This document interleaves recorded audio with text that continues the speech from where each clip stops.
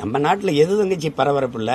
லட்டு பரபரப்பு சிலேபி பரபரப்பு அப்புறம் அது இது இது, பஞ்சாமிர்தம் பரபரப்பு அப்புறம் பிணை கிடைக்கிறது பரபரப்பு. அது அது பரபரப்புக்கு பஞ்சமாக இருக்கு. அது அந்த மி திருடுறது கமிஷன் வாங்குறது லஞ்சம் பெறுறது டாஸ்மார்க் சரக்கை கூடுதலாக விளை வச்சு விற்கிறது பத்து ரூபா கூட்டுறது நேரம் கணந்து விற்கிறது கள்ளச்சரக்கு ஓட்டுறது இதெல்லாம் தியாகத்தில் வருது. உங்களுடைய தியாகம் போட்டுறது. நான் என்ன நினைக்கிறேன்? எனக்கு யார் மேலே வருதில்ல எங்கள் பாட்டை ஒருத்தன் செக் இழுத்தான்ல. அவர் மேல ஒன்பது வருஷம் எட்டு வருஷம் ஜெயில இருந்தாங்கல்ல எங்க தாத்தங்க எல்லாம் தூக்கல தொங்குனாங்கல்ல. இவங்க அது இதுக்கெல்லாம் பேர் தியாகம்னா அதுக்கு பேர் என்ன தம்பி சொல்றது? அதுக்கு பேர் என்ன சொல்றது? இந்த நாட்டில் மண்ணெல்லி விற்கிறது மலை குடஞ்சி விற்கிறது இந்த இந்த என்ன செய்யறது? இந்த மாதிரி சாராயம் காய்ச்சிறது இது பண்ணுறது இதெல்லாம் தியாகத்தில் வருது. வீரதீர செயல்களில் பெருமைமிக்க செயலில் வருது. இந்த வழக்கை உங்ககிட்ட கேட்கிற அண்ணன் மனச்சான்றோட பதில் சொல்லு. இந்த வழக்கை போட்டது யார்? திமுக. நல்லா தெரியுதுல்ல? உள்ள வச்சது யார்? இ- இப்ப இப்ப இப்ப ஆ, இருங்க சிரிக்காதீங்க. அதிமுக ஆட்சியில நீங்க அவர் மேல வழக்கில் தான் உள்ள போயிட்டு வந்திருக்கிறாரு. உள்ள போங்க அப்புறம் வாங்க. இது என்னது? நீங்க அனுப்புனது நீங்க தான் இப்ப வருக வருக உங்க தீர செயல் வீர செயல். உங்க கட்சியில இருந்தா வீர தீர தியாகம் ஆயிரும் அடுத்த கட்சியில இருந்தா அது ஊழல் குற்றச்சாட்டாயிரும். இதே ஐயா கரூர்ல பேசினது இருக்கு. கட்ட கேட்டுக்கு இவர் முதலமைச்சர் வேட்பாளர் பட்டியலே இருக்கிறார். இந்த செந்தில் பாலாஜி செய்த ஊழல் தெரியுமா? இப்ப என்ன அனுப்பிட்டா தம்பி? உங்களுக்கு பகிரில் ஐயா பேசுனது. திருப்பி கட்சியில் சென்று உங்களை மாதிரி ஒருவருக்காக தான் காத்திருந்தோம். அங்க செய்த திருட்டை இங்க வந்து செய்யுங்கள். அதுதான். ஏன்னா நல்ல திருடன் இதுல என என நீங்க எல்லாம் தான் சொல்லணும் இதை. நீங்க அண்ணன் அண்ணனே பேச வச்சுக்கிட்டு இருக்கிறீங்க. இந்த கொடுமையெல்லாம் என்ன வந்த உடனே உடனே அதுல பாருங்க அவர் அமைச்சராவதில் எந்த தடையும் இல்லை என்று சொன்னா அமைச்சர் ஆக்குவாங்க யார் அதிகமா வசூலிச்சு கொடுக்க கப்பம் கட்டுறாங்களோ அவன் அவன் நல்ல அமைச்சர். அவ்வளவுதான்.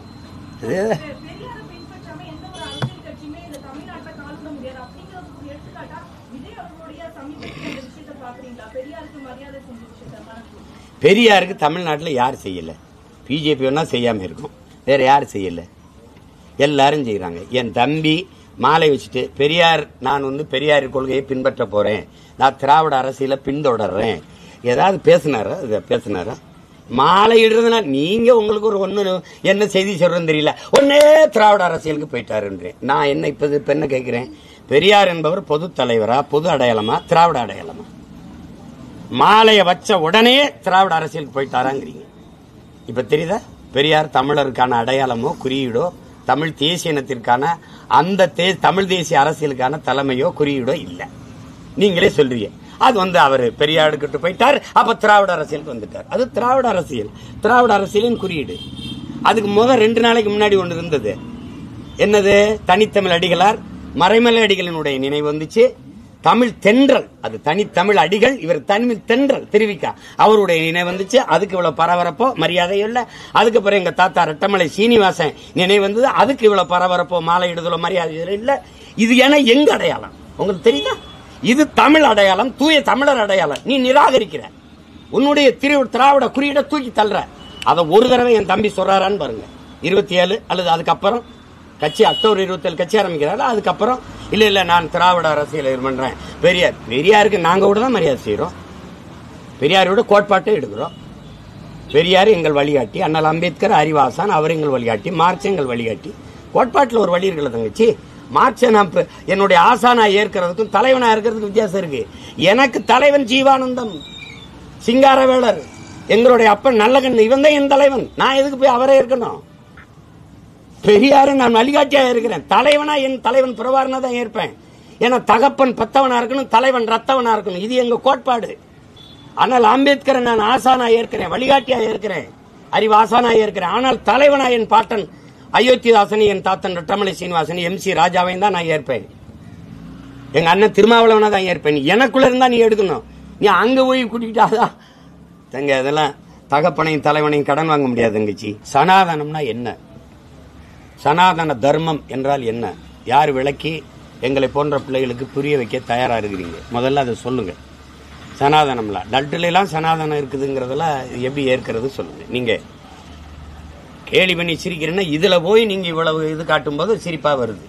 இப்போ நான் ஒன்று கேட்குறேன் என் தம்பி கார்த்தி மன்னிப்பு கேட்டதில் எனக்கு வருத்தம் இருக்குது ஆனால் அவருக்கு என் தம்பி சூர்யாவுக்கும் பிரச்சனை இருக்குது அங்கே படம் வெளியாகுது. அவர் துணை முதல்வராக இருக்காரு. அப்படி ஒரு கருத்தை சொல்லும்போது சரிங்க மன்னிச்சுக்கிறீங்க அப்படிதான் சொல்லணும். இல்ல தெலுங்கு இங்க- இங்கேயே பல நடிகர்களுக்கு எனக்கு இருக்கிற கோபம் உங்களுக்கு இருக்கிற கோபம் எல்லாருக்கும் இருக்கிற கோபம் இருக்கு. ஆனாலும் அவங்களுக்கு திரையரங்க யார்கிட்ட இருக்கு. இது எதுக்கு பிரச்சனைன்னு நினைப்பாங்க. எல்லாத்துக்கும் துணிஞ்சு நம்மள மாதிரி எதுவும் வேணா பயா. பார்த்துக்கிறோமேன்னு வந்து நிற்க முடியாது. எல்லாரும் நிற்க முடியாது. தம்பி எல்லாரும் நிற்க முடியாது. இப்போ இப்போ இது சிறைக்கு போனதுனால ஃபெலிக்ஸுக்கும் சவுக்கு சங்கருக்கும் எவ்வளோ பெரிய இழப்பு இருக்குது? அந்த குடும்பத்துக்கு யார் அந்த தொ- அந்த வலையொலி நடந்தால் வருமானம். அது இல்லை. இப்போ என்ன பண்ணுவீங்க? இப்போ அந்த மாதிரி இழப்பை தாங்கக்கூடிய ஆற்றல் இருக்கிறவன் தைரியமாக நிற்பான் இல்லைன்னா என்ன பண்ண முடியும்? பெரும் முதலீடு தம்பி. பல நூறு கோடிகளை முதலீடு செய்யும் போது அதை வாங்கினவங்க அது சார்ந்தவங்க எவ்வளோ பேர் பாதிக்கப்படுவாங்கன்னு போது அவங்க கொஞ்சம் பின்னடைய வேண்டியது வருது. அதில் ஒரு குறையை நம்ம சொல்ல முடியுது. ஆனால் நான் கேட்குறது என்னென்னா இதில் என்ன இதில் என்ன சனாதனம் வருது இதில் என்ன பெரிய பிரச்சனை வருதுன்னு கேட்குறேன் நீங்கள் ஒரு லட்டு பிரச்சனை தம்பி. இப்போ நான் வந்து தலைவன் நான் முதலமைச்சர். லட்டு. யார்கிட்ட கொடுத்துருக்கு ஒப்பந்தம்? அது கலந்தவன் யார்? அது கொண்டாடா? அவனை தூக்கி நடவடிக்கை எடுத்து உள்ள போடு. இனிமே கலக்காத. வேற ஆளுக்கு ஒப்பந்தம் கொடு. இவ்வளவுதானே தம்பி? அரை அரை ஒரு மணி நிமிஷத்தில் முடிஞ்சிருச்சா? ஒரு நிமிஷத்தில் முடிஞ்சு. இதானே? இதானே நிர்வாகம்? இந்த பாருங்க சென்னையில் ஒரு போக்குவரத்து இதில் பேருந்தில் போன மாணவரை ஒரு நடத்துனர் அடிச்சு விட்டார் பெருந்தலைவர் காமராஜர் முதலமைச்சர். இதை கேட்டுக்கிறீங்க இது எப்படி கையாளணும்னு பாருங்க. இந்த மாதிரி வந்தவொடனே வண்டி எடுத்துக்கு நேராக போயிடுறாரு. மாணவர்கள்லாம் வீதியில் இறங்கி போராடிட்டு இருக்காங்க. என்ன உன் பிரச்சனை என்ன? இவர் அடிச்சு விட்டாரு அவர் என்ன செய்யலாம்ன்றேன்.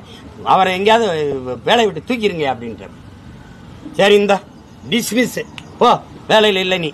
படிக்கிற பிள்ளை நீ எதுக்கு போராடி இருக்க? போய் படிக்கப்போ போ அனுப்பிட்ட அப்படி அவர் வீட்டுக்கு வந்துடுறாரு. வந்தோடனே என்னங்க நீங்கள் வந்து இப்படி பண்ணிட்டீங்க? பாவங்க அப்படின்னு ஏய் படிக்கிற பிள்ளையோட போய் இவன் சண்டை போட்டுக்கிட்டு இருக்கலாமா?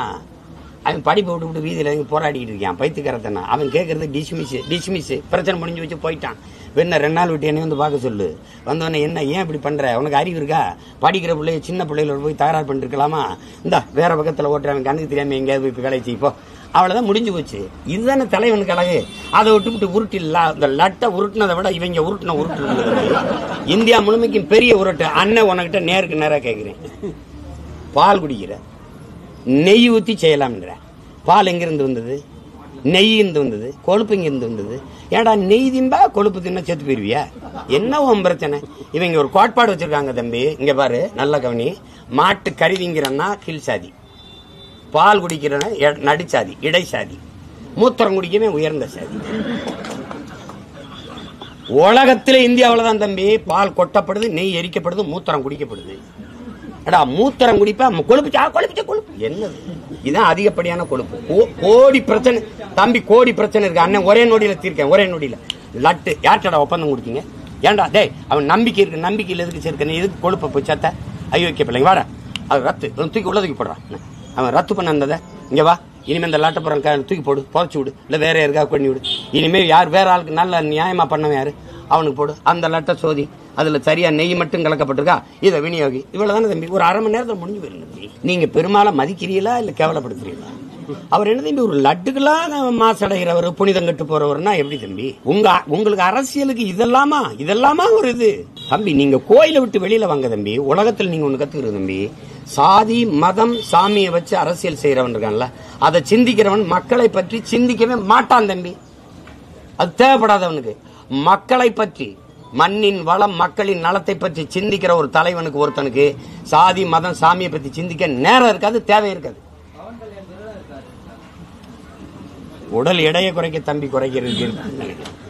ஒரு ஒரு இளைய தலைமுறை இந்த மாதிரிலாம் அவர் வளர்றது அப்படி இதுதான் நல்லா இல்லது. சாமின்னா ஆக்கப்பூர்வமாக பேசணும். தப்பு. கொழுப்பை கலந்தது தப்பு. யார் கலந்தது? இப்ப என்ன தெரியுமா? ஜெகன்மோகன் ரெட்டி சந்திரபாபு நாயுடு ஆட்சிக்கு எதிராக நம்ம போராட வேண்டும். பாருங்கள் கொழுப்பு கலந்து இவர் இவங்க அவர் கிறித்தவர் கலந்துட்டாருன்ற இது ஒரு கருத்து தான். அது இல்லை நிரூபிக்க வேண்டியதானே அது இல்லை. இவர் திடீர்னு பாருங்க எலி கிடந்துச்சுன்றாங்க. திடீர்னு கரப்பாம்பூச்சி இருந்துச்சுன்றாங்க. நமக்கு இதில் சந்தேகம் வருது இதில். நீங்கள் ரேஷன் அரிசியிலே செறிவூட்டப்பட்ட அரிசியை கலந்தீங்க. அது கலப்படம் தானே? நீங்கள் கொண்டாந்து எங்களுக்கு பொங்கல் கொடுத்த வெள்ளத்தில் க- பூச்சி இருந்துச்சு. ஆரட்டெல்லாம் பள்ளியெல்லாம் செத்து கிடந்துச்சு.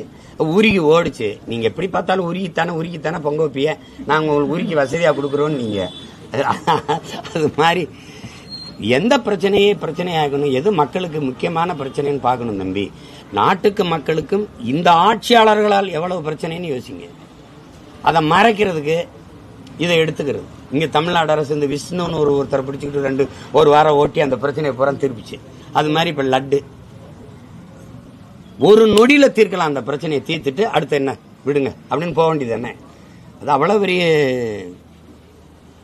தம்பி கார்த்திக்கிட்ட அந்த நெறியாளர் கேட்டிருக்க கூடாது. அவர் எவ்வளோ நாகரிகமாக பதில் சொல்கிறாரு அது சென்சிட்டிவ் இஷ்யூ அது உணர்வுபூர்வமான சிக்கல். அதை தவிருங்கன்னு சொல்லும்போது அந்த அம்மா மறுபடியும் விட்டுருக்கணும். திருப்பி லட்டு வேணாமான்னு அவர் வேணான்றார். அவ்வளோதான் அவர் ஒன்றும் யாரையும் காயப்படுத்தணும். நீங்கள் பேச்ச கேளுங்க. யாரையாவது காயப்படுத்துகிற மாதிரி இருக்குதான்னு பாருங்க. அதுக்கு போய் கோவப்படுறது அர்த்தம் இந்த தம்பி மேலேயும் தப்பு இல்லை. பவன் வந்து அது இதுக்கெல்லாம் கோபப்பட வேண்டியது இல்லை